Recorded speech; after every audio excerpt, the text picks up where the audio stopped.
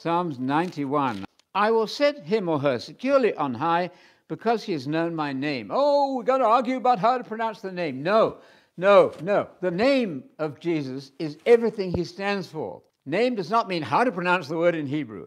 That's a very wooden way to approach that. No, your name is everything you are and stand for. Paul, on one occasion, said, Did you get baptized into my name? Well, what is that supposed to mean? Does that mean, did they say in the name of uh, Paul? No, no. Did you get baptized into my religion? Paul's religion? No, you got baptized into God's religion. That's all it is.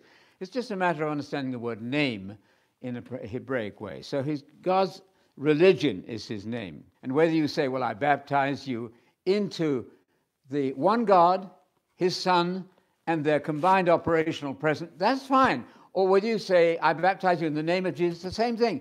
Or if you should say, into the name, into, into the name of the Father, the Son, and the Spirit, it's the same thing. Relax. So it's fascinating to, to make things easier for people.